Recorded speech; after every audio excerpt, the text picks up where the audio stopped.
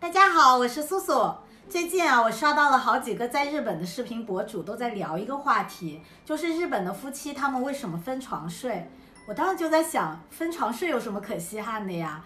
日本好多夫妻他们住同一个屋里还不见面呢。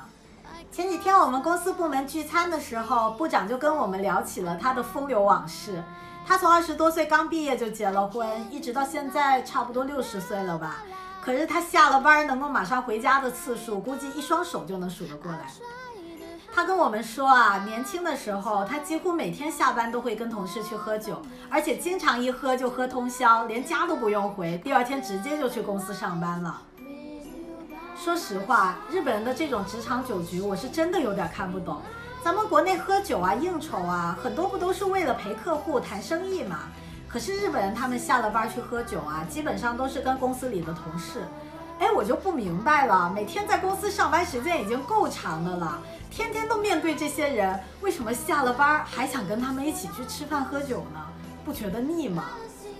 我们部长还跟我们说啊，因为从结婚开始，他其实在家的时间就特别的少，家里所有的大事小事都是他老婆在管，他也不怎么过问，所以他跟家里人的沟通呢，其实也非常的少。后来等到他五十多岁，觉得说下了班想回家的时候，他突然间发现他在家里面其实跟家人也没什么话说，反而感觉在家里特别的不自在，还不如下了班跟同事们去喝酒呢。哎，我听这话怎么感觉那么凄凉呢？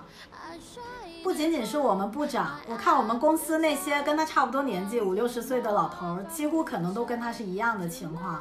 所以这帮老头他们到现在都是下了班就一起去喝酒，有时候经常都会喝到夜里两三点才回家。我们这些年轻人都觉得这帮老头也太有劲儿了吧！而且他们这帮人凑在一块喝酒都喝了三十多年了。感觉比起他们的妻子孩子，估计他们对彼此才是真爱吧。